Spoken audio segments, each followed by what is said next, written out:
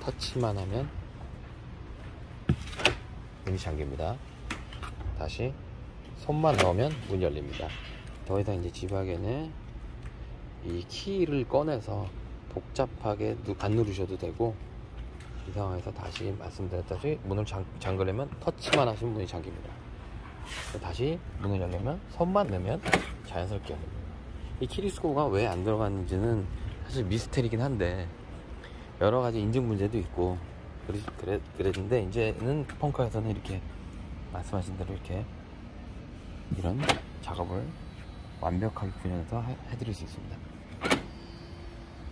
간단합니다. 이렇게 손만 터치만 하면 문 잠기고 손만 넣으면 열리고 당기기만 하면 돼요. 키 버튼 누를 필요가 없습니다.